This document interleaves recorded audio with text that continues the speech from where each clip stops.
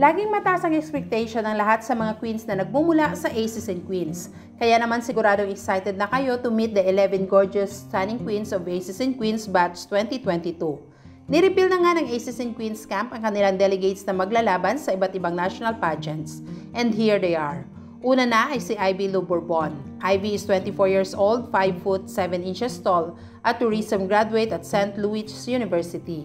Not new to beauty pageant but will be competing for the first time in a national pageant representing Pangasinan. Next is Vanessa Caro. A 24 years old sonner stands 5 foot 9 inches tall.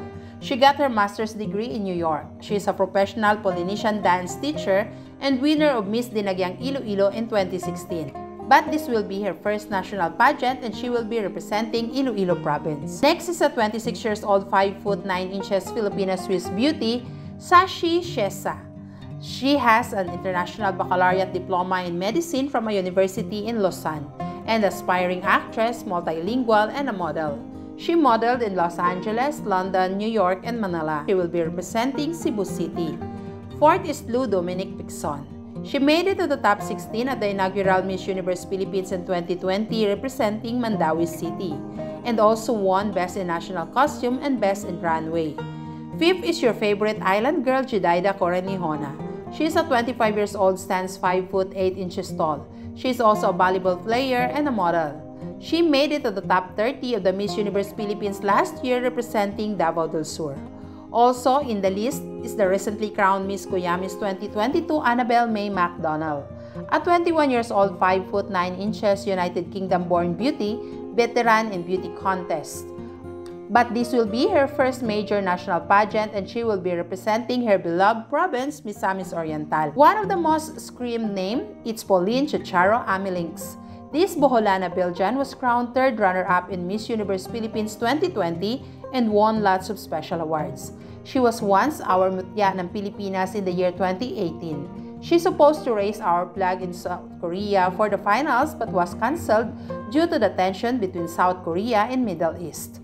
Now, she's 25 years old and determined to beg a crown for another chance to raise our flag abroad. Also in the list is Isabel Braza. Sounds familiar? Yes, because she was in the top 75 of Miss Universe Philippines last year. She failed to continue due to existing commitment. Isabel is a model since 2008, currently a business manager, and she appeared in almost 28 commercials. This year is her second time to compete in a national pageant. Another favorite is Chantal Alice Schmidt. This 5 foot 10 inches beauty is new to the pageant world. She was a model since she was 16.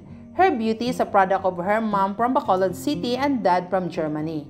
She was born in Hong Kong, then moved to Sydney, moved to Bacolod, and then to Germany, again back in Hong Kong, and then moved to Cebu. Now living in Manila, but will represent Cebu City on her chosen pageant. One of the tallest Queen of Aces and Queens Batch 2022 is 5 foot 11 inches stunner Julia Saubier. A fully accomplished queen, Julia is born in Lyons, France and now 27 years old, a magna cum laude graduate of New York University, Abu Dhabi. Got her master's degree at Yenching Academy of Perking. An international model appeared in some of the biggest products such as Apple, Adidas, and L'Oreal. Multilingual who traveled around the world. She joined Binibining Pilipinas in 2019 and will be representing a province of Albay this year in a crossover pageant. And last is recently crowned Miss Iloilo Universe, Dorothy Himilian.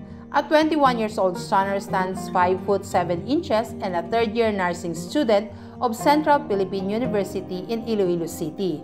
A pure-blooded Ilongga known for her communication skills. A future journalist with various awards in journalism essay, and creative writing. She will be representing Iloilo City in Miss Universe Philippines 2022. Sino sa 11 na ito ang bet ninyo? Sa Aces Queens pa din kaya this year magmumula ang ating pambato sa Miss Universe 2022? Sino sa kanila ang manok ninyo? Share naman dyan sa comment section. Thank you!